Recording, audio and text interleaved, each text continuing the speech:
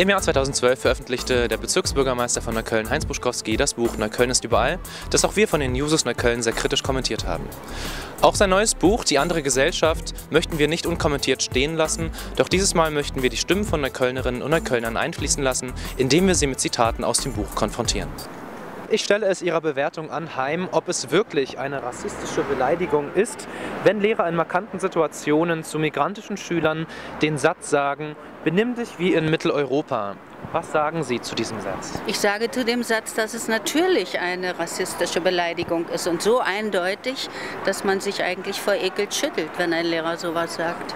Es ist jetzt vielleicht nicht klar rassistisch, sondern irgendwie nur strukturell rassistisch, sowas zu sagen.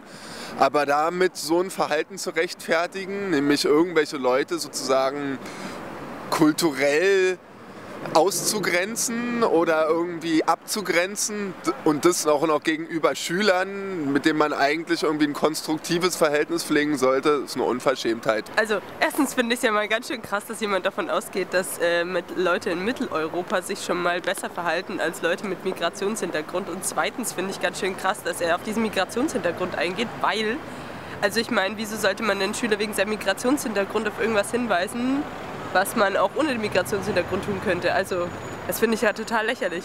Ja, also ich finde das verfehlt, wenn ein Lehrer sowas sagt. Denn ich denke, Lehrer sollten auch in sogenannten markanten Situationen genug andere Dinge einfallen, die er dann sagen kann und nicht auf so eine ähm, Schiene irgendwie abgleiten.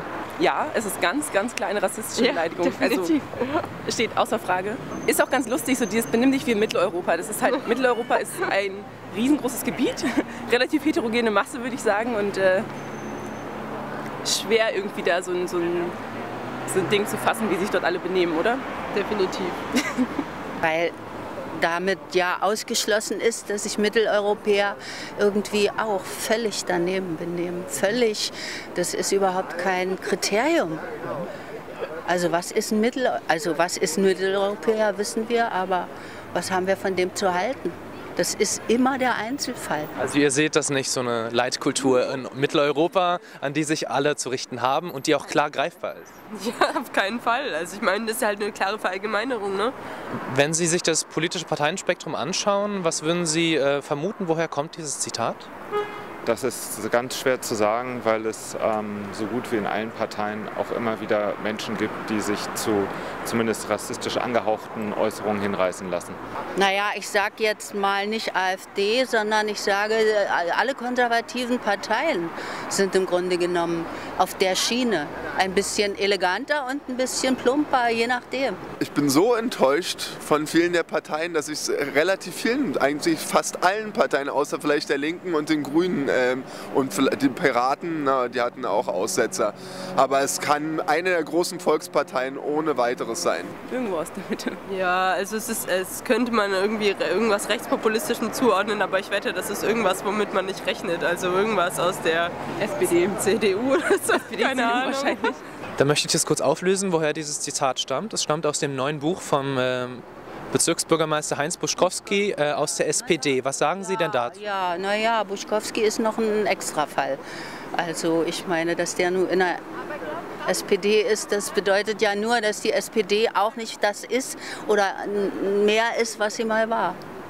Äh, muss ich gestehen, überrascht mich überhaupt nicht. Finde ich ganz schön krass.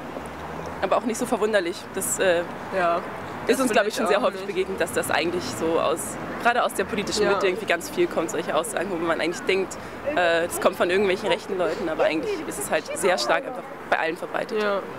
Der ist so jemand, der irgendwie meint, er könnte mit Berliner Schnauze irgendjemand um den Finger wickeln und äh, müsste sich deswegen irgendwie nicht differenzierter auf irgendwelche Diskussionen einlassen.